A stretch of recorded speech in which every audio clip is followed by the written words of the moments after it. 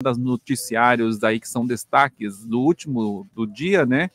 É a nossa jornalista de milhões, Rosália Oliveira. Então, a partir de agora, vamos saber das notícias?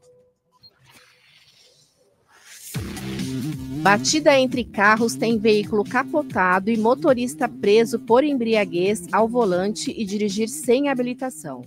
Caso ocorreu na madrugada deste sábado, 28, em frente a uma das saídas da estação Trianon MASP, da linha 2 verde do metrô.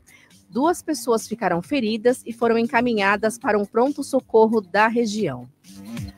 Motorista de carro de luxo atropela e mata motociclista na rodovia Anchieta, em São Bernardo.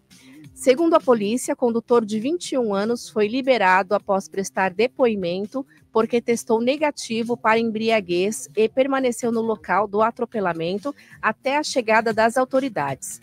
Vítima tinha 56 anos e deixa uma filha. Em meio à estiagem severa, a adutora da Sabesp se rompe e provoca enxurrada em Avenida de São Bernardo.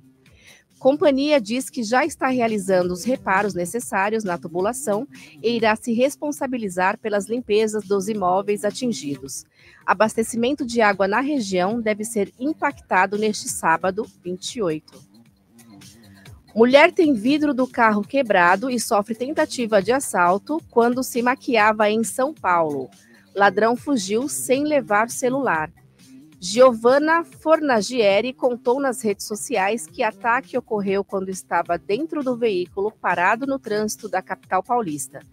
Vítima gravou o que aconteceu. Caso ocorreu nesta semana, criminoso não aparece nas imagens.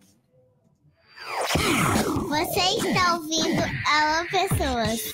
Heliópolis FM. Tudo, tudo